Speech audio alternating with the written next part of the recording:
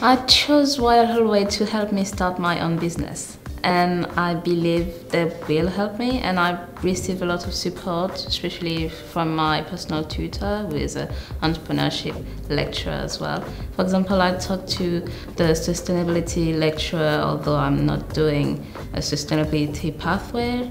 and um, my business idea is related to sustainability and entrepreneurship so if I'm able to talk to those lecturers uh, I'm really grateful for that.